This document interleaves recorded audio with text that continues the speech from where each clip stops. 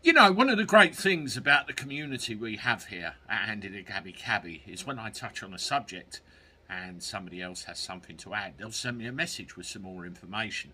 That actually happened last night. I got a message from one of the subscribers to this channel about a subject I've looked at, and I'll go through it with you now.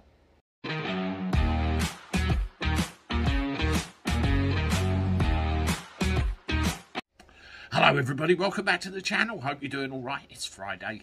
We've got the weekend tomorrow. Let me know what your plans are in the comments below, and more importantly, that everybody's okay. We uh, had a good members live last night and managed to uh, help out a couple of people while we were at it. So, uh, not too bad, not too bad. And, uh, you know, if anybody's got trouble, just reach out, leave a comment. And, uh, you know, there's loads of people around here that will listen and help if they can. Well, let's have a look at this subject, shall we? It's all to do with the road user charging that they're proposing within London. I had this message, and I'll censor it slightly because uh, they, they were a bit colourful. Uh, evening, Andy. I have an important subject that will affect you as you go into London often.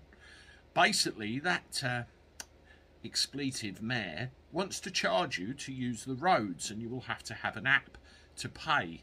Also, it won't just be cars that are charged. Basically, anyone, whether they are a cyclist, e-scooter rider, will be charged. Rider, not writer, will be charged. Please see the link.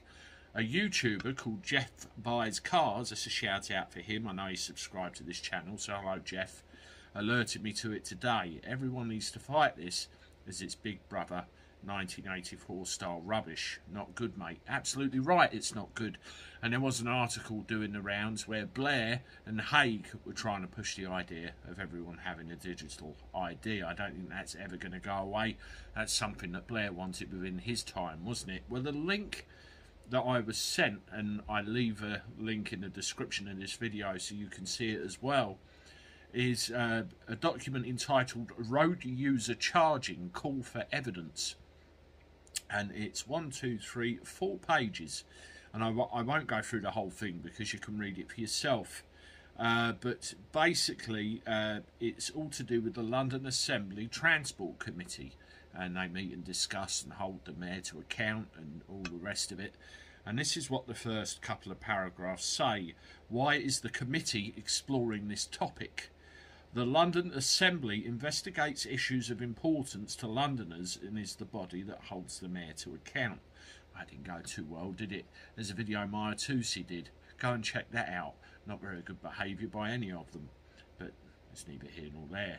For Londoners, the potential introduction of variable or distance-based smarter road user charging would be the biggest change in how daily transport is paid for since the introduction of Oyster and the congestion charge nearly 20 years ago. A number of the Mayor's policy targets mean journeys must shift away from private car use, C40 cities, uh, towards more active travel and public transport. The Mayor's updated transport strategy has added more definition to plans for the future development of smarter road charging to address the triple challenges of toxic air pollution, the climate emergency, and traffic congestion. London already has a road user charging scheme in place, including the congestion charge, the low emission zone, and the ultra low emission zone. As part of a consultation last year on the Mayor's transport strategy and the ULEZ expansion, TFL asked for views on the future of road user charging and how it might be implemented. The committee held its first meeting on this investigation on the 14th of December 2022 and heard from the following organisation Campaign for Better Transport, Business LDN, Centre for London, Possible the Future, Federation of Small Businesses, and the Rebel Group. The transcript of that evidence session can be found here. There's a link in the document, and I'll leave that for you. And a video recording of the meeting can be found here. Again, there's links in the document which I'll leave for you under there. I mean, this all ties in with the C40 city strategy, doesn't it? With all these left-leaning mayors that just want to clear all the cars out of the streets. I mean, there's one thing they mentioned there about congestion. There is congestion, and they want to charge £12.50 a day, but this is going down very dystopian uh, avenues, I think. I don't like it. It's track and trace for humans and their vehicles, and they will know where we all are at all times, I'm sure. Let me know what you think in the comments. Uh, this is a really bad idea. I mean, the government have, I've seen evidence in a video that they're going to step in and say, you're not expanding the ULEZ, behave yourself. But I don't think even that'll be enough.